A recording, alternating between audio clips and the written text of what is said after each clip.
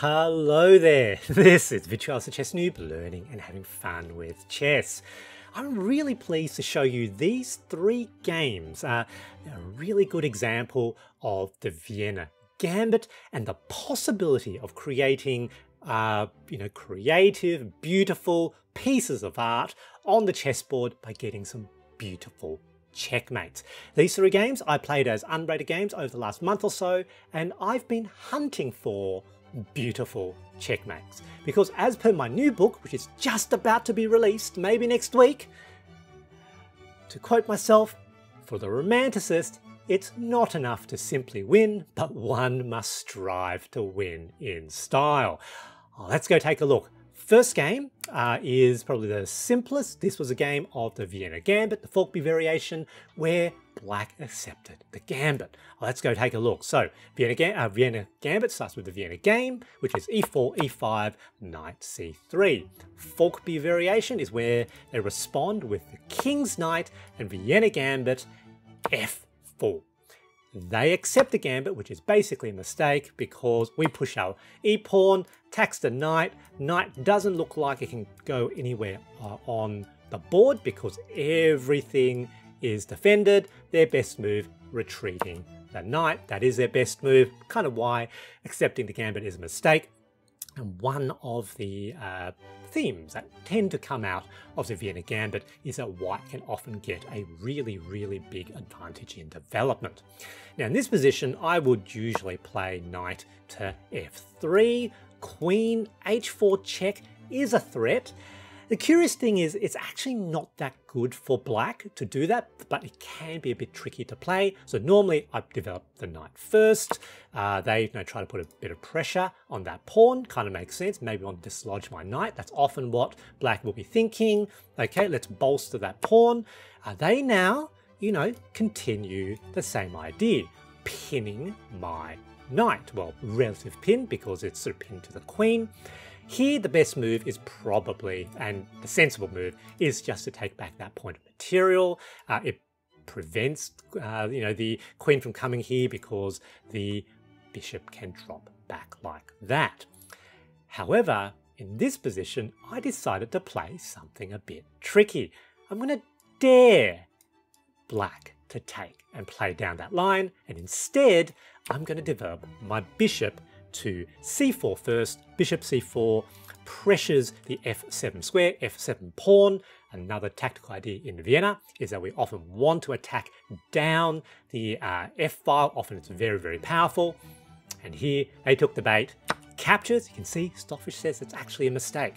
After we capture back with the queen, they give the check, you can see inaccuracy, look at that, you know, their upper point of material but look at white's advantage. This is all a mistake. Now they're probably thinking that after g3, usually this is good for black because this looks like it's pinned. So if they take here now, the you know, pawn forward, there's a discovered check. So maybe at least what they're going to do is they'll just end up trading down, queens go off the board, and they hold on to one or two points of material. That's probably what black was thinking. But here, mate in six. And it's made in six because remember, one of the ideas of the Vienna is that we want to attack down the F-file and they just semi-open the F-file for me. There is a scholar's mate type attack, though it's not a mate because you know, the king can run. But let's see, because here we're going to see one of the checkmating motifs that can come out of the Vienna Gambit, which is where we end up chasing Black's king, drag him off his drone, uh, off his throne, drag him off the back rank, pull him into the field of battle, corralling the king, and then very often we can do a checkmate, you know, all on his lonesome on the queen side on the A file. Let's see what that looks like. Queen captures the f7 pawn with check, king forced to move to d8. But now we give another check. King force off the back rank, has to move forward one square, d7. However, now what have we got? We've got the pawn forward. Again, they have to now move in front of the line of pawns. King forced to c6. I give another check. You notice their backwards retreat has closed. force forward. Knight now gives a check. Uh, king now comes here. I give another check. I force black's king to capture my knight. And you notice we're now uh, just about to enter turn 16. Black's queen forlornly on the other side of the board on f4, you know, the full field uh, across, their king, you know, gazing across on a4. And in this position, my queen finishes the job, stabs Black's king in the heart all by himself, queen to b3 mate. So, dragging the king off his throne, pulling him into the field of battle, and then giving mate. So this is a often a uh, tactical motif that's available when you're in a winning position in the Vienna Gambit. We're going to see a much cooler version of this in game three. Let's have a look at the second game. Second game, it's another Vienna game, but in this one, the opponent plays the Max Lange defense. So, e4, e5, knight c3, Vienna game, Max Lange is when they develop the Queen's Knight in a, in a symmetrical fashion. Against the Max Lange, we still have Vienna Gambit, f4. Now, very commonly, against the Max Lange Vienna Gambit, black will sensibly, you know, play d6, decline the gambit with d6. It's quite good for black. However, I discovered when I was researching for my new book that you can get the Legal's trap out of the Max Lange Vienna Gambit. And if you look at the article that's linked to this video, I talk a little bit about uh, Harry Pillsbury, the US chess champion from the end of the 19th uh, century. Uh, he actually played a game in a simul where he uh, got a version of the Legal's trap. Pillsbury, extremely strong player. If in a sort of alternate history, he may well have become the third world chess champion. In uh, a tournament, I think in 1895 uh, or 96, he uh, halfway through the tournament, he was actually a full point ahead of Emanuel Lasker, who was the second world chess champion at that point. But during that tournament, due to some sort of a shenanigans, he caught syphilis and he started getting really sick towards the second half of the tournament, completely bombed out, almost got no points. But if he didn't get sick, he may well have won that tournament, and that may have triggered a world chess champion uh, match or playoff between he and Lasker, and he may have well won at his peak performance. Now, in this position, let's see what happens. All right, develop the other knight. And the idea here is we want to control the d4 square, potentially pushing d4, but black now plays the bishop to g4, pinning the knight. Now, this now gives me an idea. Here, rather than, you know, uh, doing anything else. I play a very tricky move. You can see Stockfish kind of disapproves a bit. Tricky move, which is bishop to c4. Once again, looking at that f7 square because the ingredients of the uh, Legal trap is now available, which is they're pinning my knight. I've got my knight and the bishop, you know, developed to their natural squares. Black has got the d pawn on d6. That's important. And they also must not have developed their king side pieces. So the bishop and the knight are still there. Here we potentially have the Legal trap. All right, they move their knight forward, trying to you know double team my knight. Here I give a little bit of a think and I capture their e-pawn as if I, oh no, my queen, hung my queen, Black couldn't resist. They capture the queen, blunder, mate into the Legal's trap, one of the most beautiful opening checkmates, a coordination of three minor pieces. Bishop captures f7 pawn. You notice this king only has one legal move. King must bomb cloud itself to e7. And now the second knight, and everything is closed. Legal's trap, move 8, beautiful checkmate. Absolutely lovely. Now let's have a look at the third game. And I'm really proud of this one. Just played this the other day.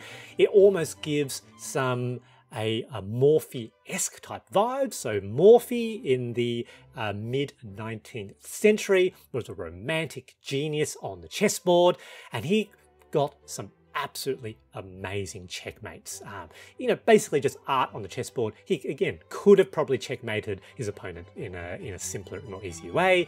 But when you're in the win, you want to, if you have the opportunity to create something very beautiful, why would you not do so?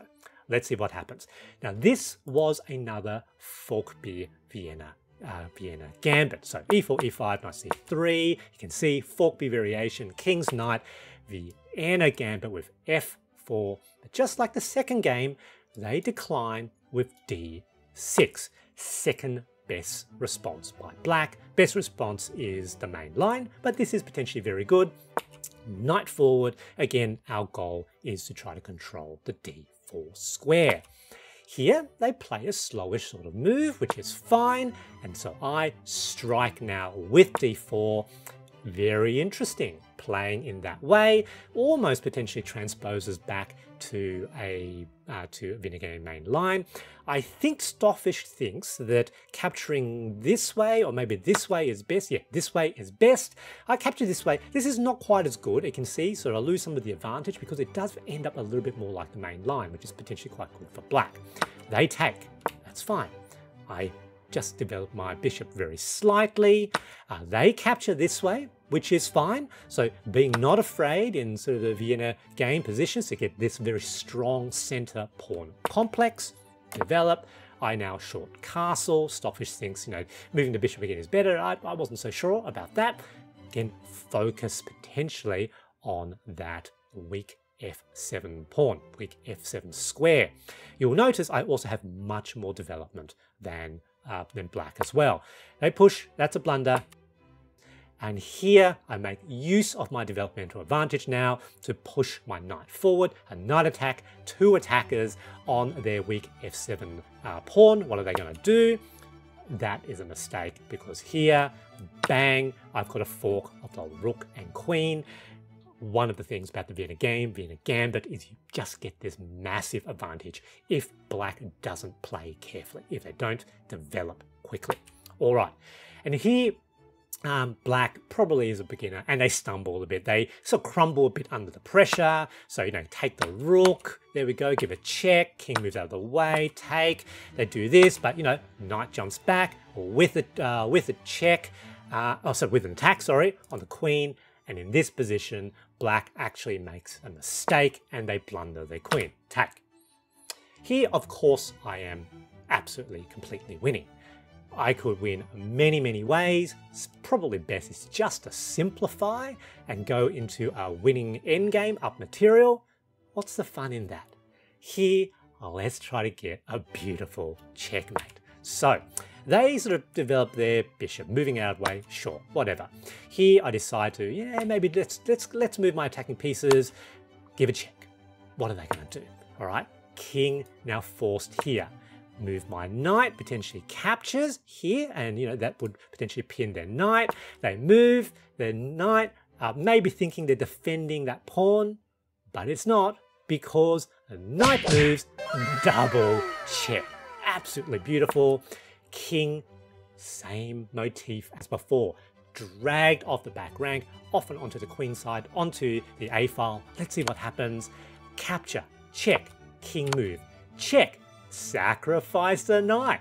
Force them to take my knight. Check. Look at that. Force now onto the A file. And here I started to see a glimpse of some greatness potentially.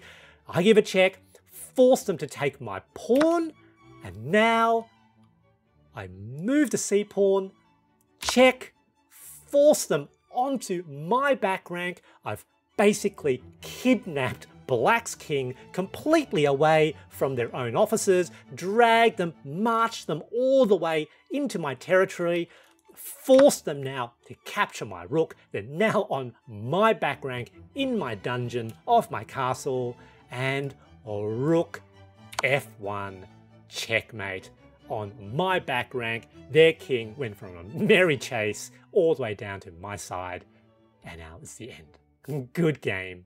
GG. The big takeaway from this games, chess can be a vehicle for art and expression. Why play boring games? Play creative, exciting, beautiful chess. And that's what my new book is about. When it's released, please consider getting your own copy. Thank you for watching. Have a good day.